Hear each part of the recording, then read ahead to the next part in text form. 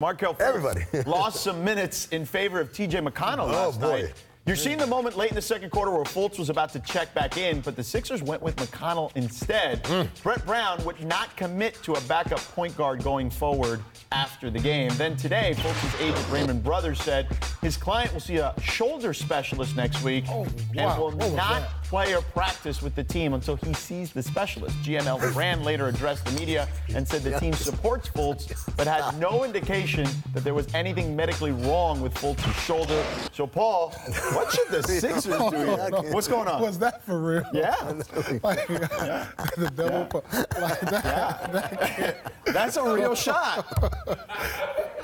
no. I mean, where are the shot specialists? Where are these coaches? What are these coaches saying to him in practice? Well, allegedly he had a, a shot specialist, know, and like- there was a, a, a- an issue, and they parted ways, uh, according to before, reports. before Hanlen? the Yeah. draft, when we saw this kid as the potential number one pick, we never saw any of this. He had a nice shot. He was going to the rack. He was showing athleticism.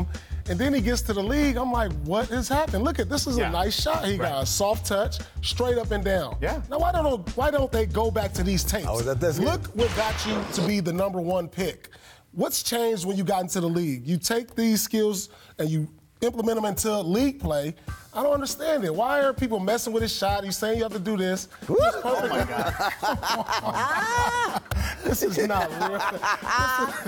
Yeah, no, come on though. No, uh, No, honestly. no, wait. Do you think that someone's actually teaching him to shoot that way? That's the yips, right? That's, that's Charles. I don't- look, they tell me that Charles Barkley, once upon a time, had a nice, smooth golf swing. And then they say he went and saw a golf pro to kind of get some pointers. Yeah. And whatever that dude told him, the way go- Barkley swings his Barkley golf up wasn't now, the number one pick in golf. Yeah, right. He It was wasn't like Tiger Woods. Yeah, he wasn't Tiger coming might in. have been now. better, man. No, but the Oh, point is, man. This ain't a shoulder issue. Right. This is not a shoulder issue, man. I'm sorry. Last year, I was willing to be like, hey, the kid's hurt, whatever. But now, look, there was no mention of him being sore or anything like that. So it's a mental issue. It's gotta be, man. Gotta especially when you say my agent's the one that told me to go see a doctor. Right. And when the team is Not- saying that they have no idea if there's anything wrong No, with not like, my, like This is the first they're hearing. Like, there's a difference between this and and, and people are gonna draw a comparison with Kawhi Leonard. Kawhi was like, I don't feel right. Y'all doctors say I'm good. I don't feel right. I'm gonna get another opinion. This is just like I'm not playing well, so. I- mean, let me ask you this real quick. As a guy who worked in the front office, at what point do you consider him a distressed asset to the point where you think of dealing him? The problem is if you try to deal him now, It's not gonna happen. the, the, the value is at absolute lowest. So right now, since he was your number one overall pick, you almost have to be. I like, think they already knew, and that's why they tried to start him to just see where it would go.